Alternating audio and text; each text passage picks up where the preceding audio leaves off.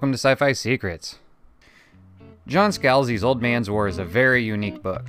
It's an emotional roller coaster filled with loss, love, lust, comedy, action, and death. This video is full of spoilers, so be warned.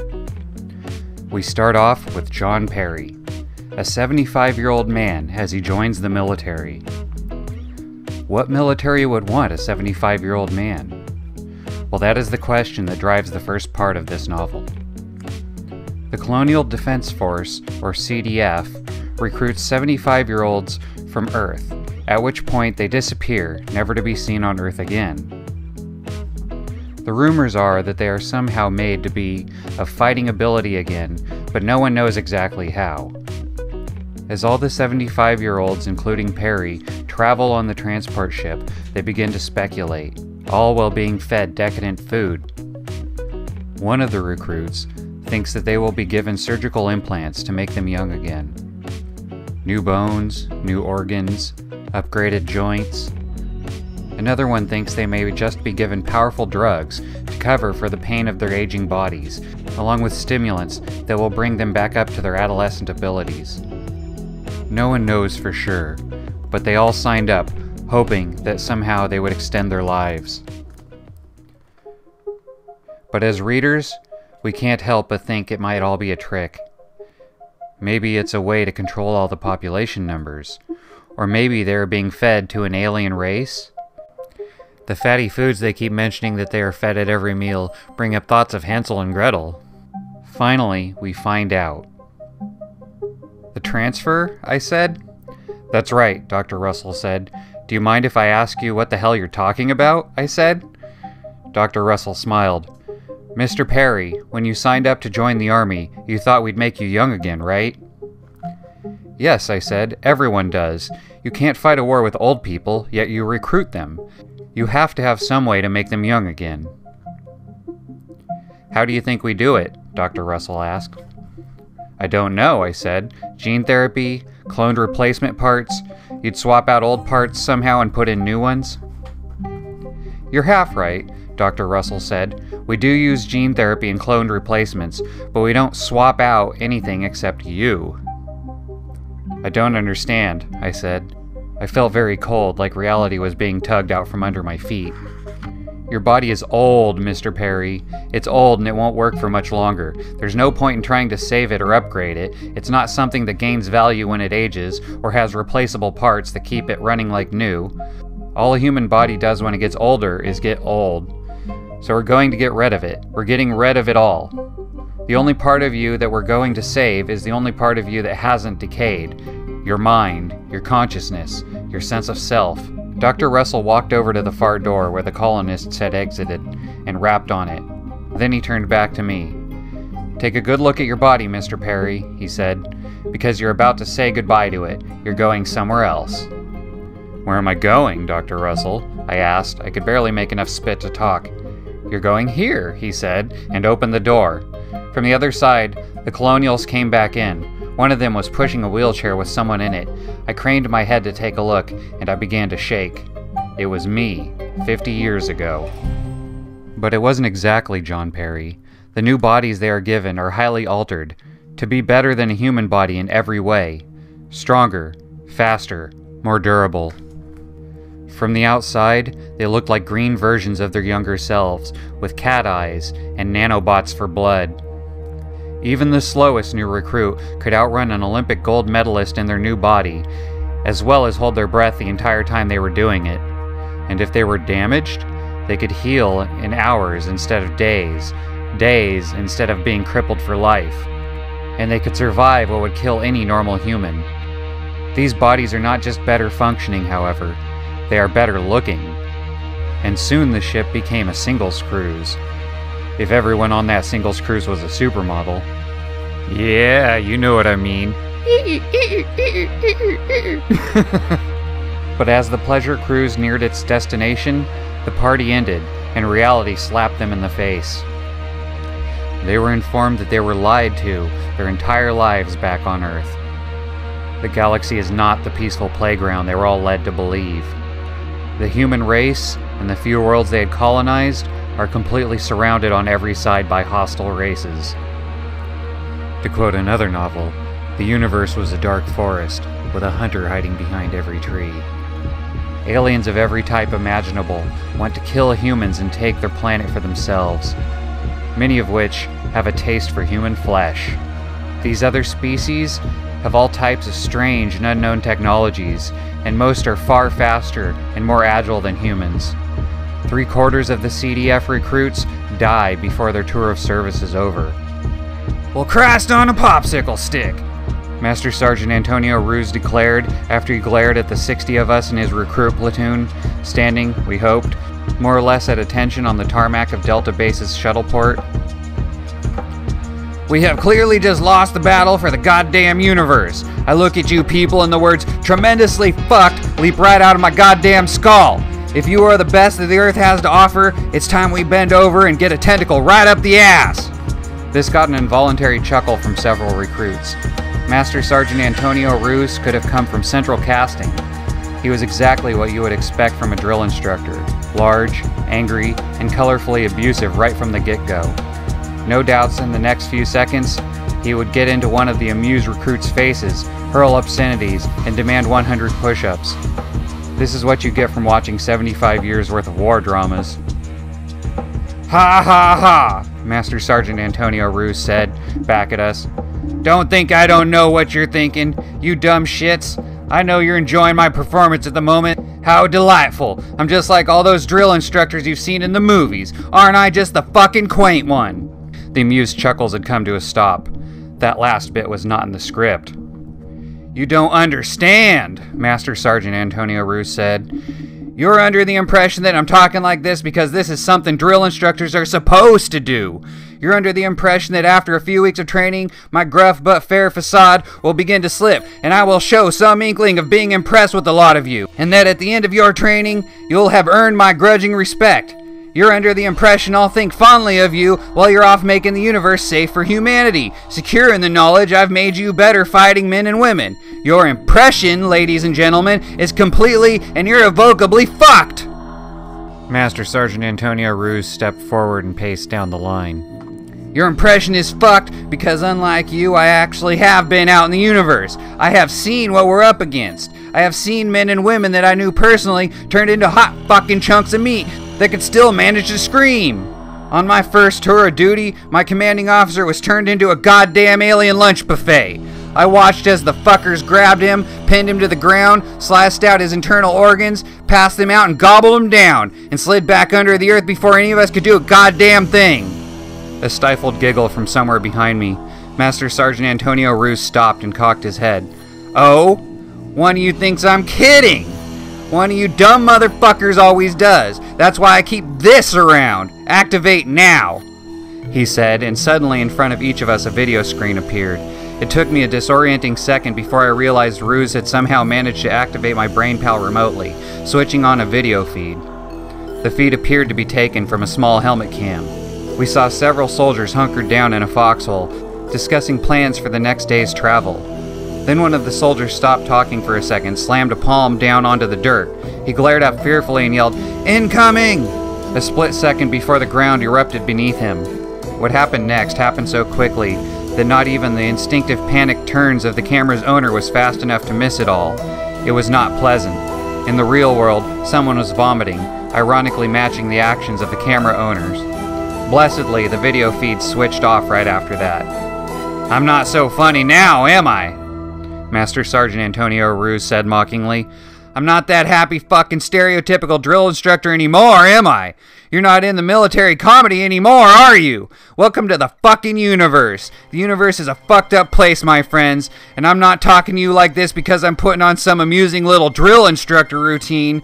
The man who was sliced and diced was among the best fighting men I have ever had the privilege of knowing. None of you are his equal, and yet you see what happened to him. Think what will happen to you. I'm talking to you like this because I sincerely believe, from the bottom of my heart, that if you're the best humanity has to offer, we are magnificently and totally fucked. Do you believe me? True to their word, their commander sent them out to battle after battle, and the men dropped like flies. None of them were prepared for this reality. None of them could adapt to every alien tactic they came up against, and those that survived were not the best fighters or the smartest among them, but the luckiest. Dumb luck was the only reason any of them survived. This leads to the funniest mental breakdown in literature. Conquering the universe was beginning to get to me. The unsettling feeling had begun at Jindal, where we ambushed Jindalian soldiers as they returned to their eyries, slashing their huge wings with beams and rockets that sent them tumbling and screeching down sheer 2,000 meter cliff faces. It had really started to affect me above Udaspree, as we donned inertia dampening power packs to provide better control as we leapt from rock fragment to rock fragment in Udaspree's rings, playing hide and seek with the spider like Vindy, who had taken to hurling bits of the ring down to the planet below, plotting delicately decaying orbits that aimed the falling debris directly on top of the human colony of Halford. By the time we arrived at Cova Banda, I was ready to snap. It might have been because of the Covandu themselves, who in many respects were clones to the human race itself, bipedal, mammalian, extraordinarily gifted in artistic matters, particularly poetry and drama, fast breeding, and unusually aggressive when it came to the universe and their place in it. Humans in the Covandu frequently found themselves fighting for the same undeveloped real estate. Cova Banda, in fact, had been a human colony before it had been a Covandu one. Abandoned after a native virus had caused the settlers to grow unsightly additional limbs and homicidal additional personalities. The virus didn't give the Covandu even a headache. They moved right in. 63 years later, the colonials finally developed a vaccine and wanted the planet back. Unfortunately, the Covandu again, all too much like humans, weren't very much into the whole sharing thing. So in we went to do battle against the Covandu, the tallest of whom is no more than one inch tall. The Covandu are not so stupid as to launch their tiny armies against humans 60 or 70 times their size. Of course, first they hit us with aircraft, long range mortars, tanks, and other military weapons that might actually do some damage. And did. It's not easy to take out 20 centimeter long aircraft flying at several hundred clicks an hour, but you do what you can to make it difficult to use these options. We did this by landing in Cova Banda's main city park, so any artillery that missed us hit their own people. And anyway, eventually you dispose of most of these annoyances. Our people used more care destroying Covandu forces than they typically might, not only because they're smaller and require more attention to hit, there's also the matter that no one wants to have been killed by a one inch opponent. Eventually, however, you shoot down all the aircraft and take out all the tanks, and then you have to deal with the individual Covandu themselves. So here's how you fight one you step on him. You just bring your foot down, apply pressure, and it's done. As you're doing this, the Covandu is firing his weapon at you and screaming at the top of his tiny little lungs, a squeak that you may just be able to hear, but it's useless. Your suit, designed to apply brakes on human scale high powered projectiles, barely register the bits of matter flung at your toes by a Covandu. You barely register the crunch of the little being you've stomped. You spot another one, you do it again. We did this for hours as we waded through Cova Banda's main city, stopping every now and then to sight a rocket on a skyscraper five or six meters high and take it down with a single shot. Some of our platoon would spray a shotgun blast into a building instead, letting the individual shot, each big enough to take a Covandu's head clean off, rattle through the building like mad pachinko balls. But mostly it was about the stomping. Godzilla, the famous Japanese monster, who had been undergoing his umpteenth revival as I left the Earth, would have felt right at home. I don't remember exactly when it was that I began to cry and kick skyscrapers, but I had done it long enough and hard enough that when Alan was finally called over to retrieve me, Asshole was informing me that I had managed to break three toes. Alan walked me back to the city park we landed in and had me sit down. As soon as I did, some Covandu emerged from behind a boulder and aimed his weapon at my face. It felt like tiny grains of sand were plunking into my cheek. God damn it, I said. I grabbed the Covandu like a ball bearing and angrily flung him into a nearby skyscraper. He zoomed off, spinning in a flat arc, decelerated with a tiny thunk when he hit the building, and fell the two remaining meters to the ground. Any other Covandu in the area apparently decided against assassination attempts. I turned to Alan. Don't you have a squad to pay attention to? I asked. He'd been promoted after his squad leader had his face torn off by an angry Jindalian. I could ask you the same question, he said, and then shrugged. They're fine. They have their orders and there's no real opposition anymore. It's clean and sweet. and Tipton can handle the squad for that. Keyes told me to come hose you down and find out what the hell is wrong with you. So what the hell is wrong with you? Christ, Alan, I said. I've just spent three hours stepping on intelligent beings like they were fucking bugs. That's what's wrong with me. I'm stomping people to death with my fucking feet. This, I swept an arm out, it's just totally fucking ridiculous, Alan. These people are one inch tall. It's like Gulliver beating the shit out of the Lilliputians. We don't get to choose our battles, John, Alan said. How does this battle make you feel? I asked. It bothers me a little, Alan said. It's not a stand up fight at all. We're just blowing these people to hell. On the other hand, the worst casualty I have in my squad is a burst eardrum. That's a miracle for you right there. So overall, I feel pretty good about it. And the Covandu aren't entirely helpless. The overall scoreboard between us and them is pretty much tied. This was surprisingly true. The Covandu's size worked to their advantage in space battles. Their ships are hard for ours to track, and their tiny fighter craft do little damage individually, but an immense amount in aggregate. It was only when it came to the ground battles that we had the overwhelming advantage. Cova Banda had a relatively small space fleet protecting it. It was one of the reasons the CDF decided to try and take it back. Okay, so it's dark humor, but I can't help but picture this through the eyes of a Covandu hiding amongst the rubble. This giant is ruthlessly squashing your friends and relatives until it just starts going insane and starts crying and throwing a tantrum before another giant comes over, clearly concerned, and sets the first giant down in the middle of the rubble that was once your city and gives him a pep talk. Am, am I the only one that finds this funny? I, I am. And, and I should get help. But it's just a book, I mean, doesn't make it better, huh? Okay, well, I'll just delete that part, then I'll just edit it out. of all the species Perry runs into, the most interesting was the Consu. Large, insect-like monsters with tech far more advanced than any other species we met. But war is their religion, and they always face their enemies with comparable levels of weaponry to give their enemies a chance. They believe themselves to be the highest form of life, because they possess the most destructive power. So, because of their religion, they will try to help other species by both warring with them and by setting them against each other, like they did when they gave the Rraey a device to detect CDF ships before they even jumped to a location, causing both civilizations to upgrade their tech and understanding of physics.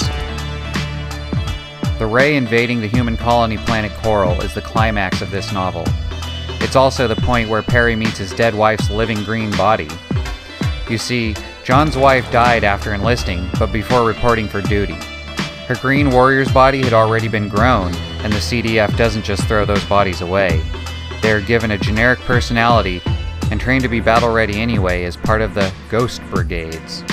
And it just so happened that Perry was rescued from Coral by his dead wife's body. The conclusion to this story now sees Perry and his wife's body, now named Jane Sagan, returning to Coral to not just reclaim it for humanity, but also to steal the Consu's ship detection device for study.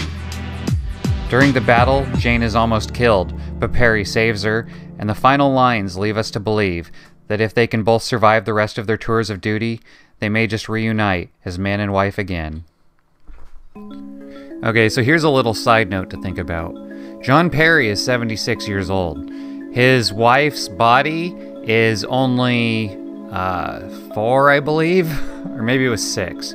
But um, yeah, I think it was six. So he's literally 70 years older than this girl, but they kind of make it. I don't know. I, I, I am not sure what I feel about this because they kind of try to make it, or I should say, John Scalzi tries to make it so that Jane Sagan is like the continuation of John Perry's wife, and she just kind of it's it, they try to make it more like she's a woman with amnesia, doesn't remember the part of her life she lived with Perry. But I mean, uh, yeah, they act like adults, but they're most of them are they're well they're all under 10 for the most part all of the the ghost brigades that he runs into. So it's a little bit weird. You can either look at it like a 76 year old with a 6 year old or you can look at it as two people in 20 year old bodies, or you could look at it as um, uh, two 76 year olds with, uh, but one has um, uh, not Alzheimer's. one ha- uh, one has. Um, why can't I think of the word I'm looking for? Uh, they've lost their memory. They have amnesia. There we go. They have amnesia. So I'll let you decide on what what you think about that. well, if you're still around, I really appreciate it. I thank you for staying. And uh, if you enjoyed that, please give me a like, comment, subscribe, and hopefully I'll see you back here for the next one.